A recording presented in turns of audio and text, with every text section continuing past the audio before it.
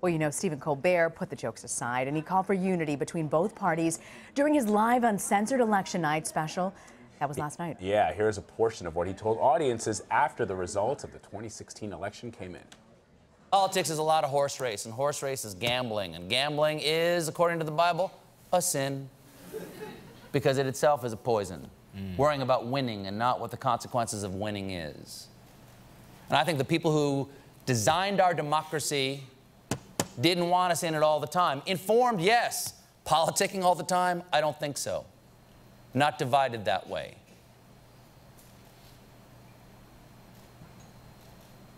They designed uh, an election that was meant to confuse us and bore us a little bit. That's why the Electoral College exists and C SPAN. and why the State of the Union begins with 20 minutes of shaking hands with grandpas.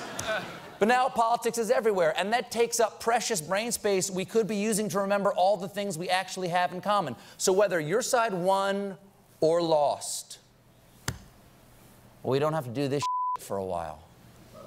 So.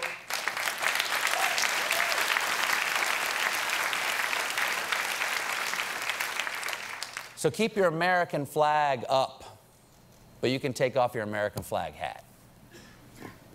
You can put away your I voted stickers, and you can get back to your life.